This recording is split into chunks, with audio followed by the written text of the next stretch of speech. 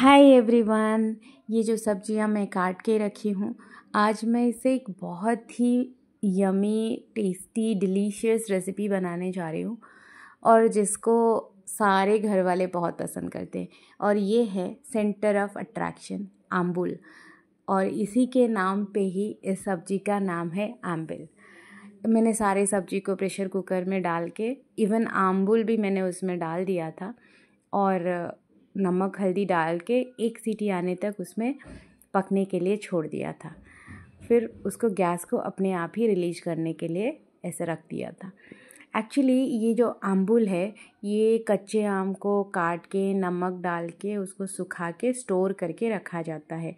जैसे north India में आमचूर बना के रखते हैं, हम उड़ीसा में इसे आम्बुल बना के रखते हैं और ये आम्बुल हम मतलब ऐसे सब्ज़ी, खट्टा कुछ भी बनाए तो उसमें हम डाल सकते हैं।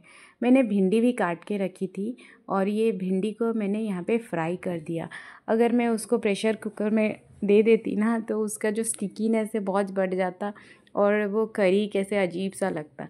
इसमें ना वेस्टर्न पार्ट ऑफ़ उड़ीसा में लोग एक करडी डालते हैं, जो इस सब्ज़ी को चार चाँद लगाता है। वो करडी बैम्बो सूट से होता है। कड़ी बहुत ही यम्मी लगता है बहुत सारे लोगों को, बहुत लोग खाते हैं।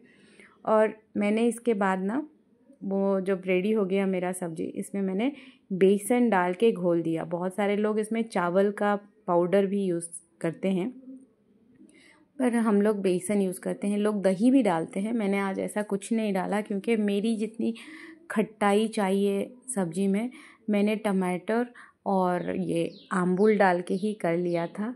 उससे ज़्यादा खट्टा पसंद नहीं करते हम लोग। तो ये खट्टापन उसमें जो आ जाएगा ना, वो उतने में हो जाएगा।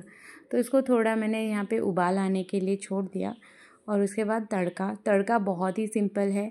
नम तेल थोड़ा डाल डाल दी मैंने, सरसों।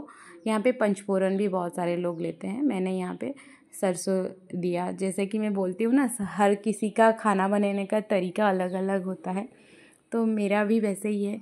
मैं कोई बड़ी सेफ़ नहीं हूँ कि मैं बहुत अच्छा खाना बनाती हूँ। मैं बस घरों ही वाला खाना बनाती हूँ। घर की खाना जो होता है, वही जो मुझे पसंद है और मैं सोचती हूँ कि मैं आप लोगों के साथ शेयर कर लूँ। तो ये तड़के के लिए मैंने रेडी कर दिया, तड़का लगाया। हाँ और इसमें मैंने ना थोड़ा सा कश्मीरी लाल मिर्च डाली ताकि उसका ना कलर बहुत सुंदर लगे।